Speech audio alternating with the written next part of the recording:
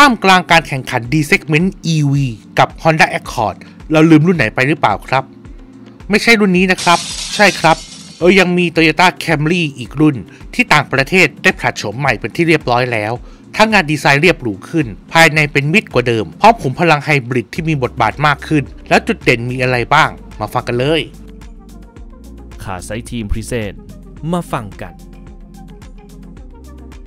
ข้อที่ 1 งานดีไซน์ใหม่ เรียบง่าย แต่ลงตัว แม้หน้าตาภายนอกไม่ต่างจากรุ่นก่อนเท่าไหร่นัก แต่มีการปรับดีไซน์ให้เรียบหรูขึ้น อาทิงานออกแบบสไตล์ Hammerhead ทั้งด้านหน้าที่มาพร้อมไฟหน้า LED รูปทรงปราดเปรียว ช่องดักลมด้านข้างที่โฉบเฉี่ยว และด้านหลังที่มีไฟท้าย รูปแบบเดียวกับไฟหน้า พร้อมกับชนหลังที่มีลวดลายแปลกตา ทั้งนี้เวอร์ชันจีน ได้อัปเกรดหน้าใหม่ยกแผง ทั้งไฟหน้า และกันชนหน้าที่หรูหราขึ้น มิติตัวถังจะมีความยาว 4 เมตร 91 เซนติเมตร กว้าง 1 เมตร 84 เซนติเมตร สูง 1 เมตร 45 เซนติเมตร และฐานล้อยาว 2 เมตร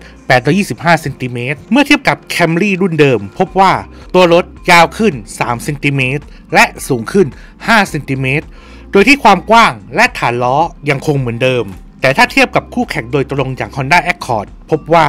ตัวรถสั้นลง 4.7 เซนติเมตร แคบลง 2.2 เซนติเมตร สูงขึ้น 0.1 เซนติเมตร และฐานล้อสั้นลง 0.2 เซนติเมตร พอมาเทียบกับ EV ซีดานแดนมังกร น้องใหม่อย่าง d p a l L07 พบว่า ตัวรถยาวกว่า 9.5 เซนติเมตร แต่กลับแคบกว่า 5 เซนติเมตร เตี้ยกว่า 3 เซนติเมตร และฐานล้อสั้นกว่า 7.5 เซนติเมตรขณะที่ EV ไฟแรงของกลุ่มอย่าง BYD Seal พบว่า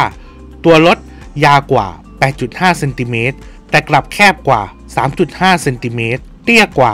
1.5 เซนติเมตร ส่วนฐานล้อจะสั้นกว่า 9.5 เซนติเมตร ข้อ 2 ภายในแอบหรูในสไตล์โตโยต้ายุคใหม่ งานออกแบบห้องโดยสารของ Camry ได้ลดทอนความแปลกตา และเน้นความหรูหราเพิ่มขึ้น แต่ก็จะแยกได้เป็น 2 เวอร์ชันก็คือ ในเวอร์ชันสหรัฐอเมริกา จะมาพร้อมดีไซน์ที่แปลกตา ทั้งช่องแอร์ที่ยาวต่อเนื่องกับจอกลาง ซึ่งจะมีขนาด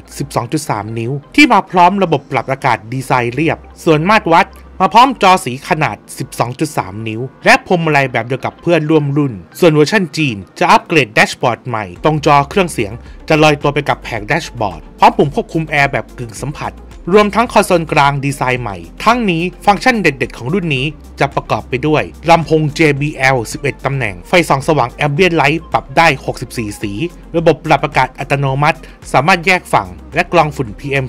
2.5รวมถึงปล่อยกลิ่นน้ำหอมได้ หลังคากระจกพาโนรามิก และเบาะหลังเต็มฟังก์ชัน ทั้งม่านหลังพนักพิงขนาดใหญ่ และสวิตช์ตรงที่พักแขน เรียกว่าให้มาครบจัดเต็มจริง ๆ ข้อ 3 ขุมพลังใหม่ เอาใจคนชอบไฮบริด ขุมพลังของ Toyota Camry ในเบื้องต้นจะมีให้เลือก 3 สเปค เริ่มจากขุมพลังหลักสำหรับขายทั่วโลกอย่าง เครื่องยนต์เบนซินไฮบริด 2.5 ลิตร Dynamic Force ที่มีกำลัง 185 แรงม้า แรงบิด 221 นิวตันเมตร ส่วนมอเตอร์ไฟฟ้าจะมีกำลัง 136 แรงม้า แรงบิด 208 นิวตันเมตร กำลังรวม 2 ระบบจะอยู่ที่ 230 แรงม้า เสริมเกียร์อัตโนมัติ E-CVT ส่วนประเทศจีน จะมีขุมพลัง 2.0 ลิตร Dynamic Force ให้เลือก ทั้งแบบไฮบริดที่จะมีกำลัง 152 แรงม้า แรงบิด 188 นิวตันเมตร ส่วนมอเตอร์ไฟฟ้าจะมีกำลัง 113 แรงม้า และแรงบิด 206 นิวตันเมตรกำลังรวม 2 ระบบจะอยู่ที่ 197 แรงม้า เสริมเกียร์อัตโนมัติ ECVT และแบบขุมพลังสันดาปกำลัง 173 แรงม้า แรงบิด 206 นิวตันเมตร พร้อมเกียร์อัตโนมัติ Direct Shift CVT ตัวรถยังคงสร้างบนพื้นฐาน TNGA-K พร้อมช่วงล่างด้านหน้าแบบ McPherson s t r u t หลังเป็น Double Wishbone พร้อมดิสเบรก4ล้อ และพวงมาลัย Power ไฟฟ้า แม้จะยังคงเหมือนกับรุ่นเดิม แต่คาดว่าอาจจะมีการปรับปรุงบางอย่างให้ดีขึ้น ข้อ 4 ความปลอดภัยเวอร์ชั่นใหม่ที่รอคอย ระบบความปลอดภัยของ Toyota Camry ยังมาพร้อมกับ Toyota Safety Sense เช่นเคย แต่ถ้ามาถึงเวอร์ชัน 3.0 ก็ต้องมีการเพิ่มฟังก์ชันเข้ามาอย่าง ระบบช่วยขับขี่ในความเร็วต่ำ Traffic Jam Assist ระบบช่วยหลบสิ่งกีดขวาง Proactive Driving Assist ระบบช่วยเรียกรถฉุกเฉินเมื่อคนขับเกิดอาการหมดสติ EDSS ไฟหน้าปรับการกระจายลำแสงอัตโนมัติ Adaptive High Beam Assist แม้จะเพิ่มไม่กี่อย่าง แต่ก็ช่วยให้การขับขี่ ทำได้สะดวกสบายขึ้นแน่นอนสำหรับใครที่ยังกังขาว่า Toyota Camry จะทำตลาดในไทยต่อหรือเปล่าคำตอบคือ ยังต้องทำตลาดในประเทศไทยต่อไป จากเสียงตอบรับที่ลูกค้าชื่นชอบรถขนาดใหญ่ ที่มีความหรูหราเต็มพิกัดกำหนดทำตลาดในประเทศไทย คาดว่าจะมาในช่วงครึ่งหลังของปี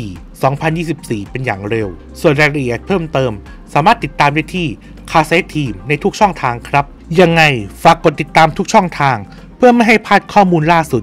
แล้วพบกันใหม่ในเรื่องต่อไปครับ